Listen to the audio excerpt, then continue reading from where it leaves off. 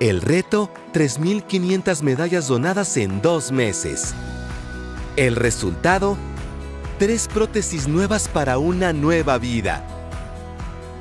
Nuestro aliado, la Fundación ROMP y su compromiso de brindar prótesis de alta calidad a personas de escasos recursos. Los protagonistas, Edubi, Jair y José.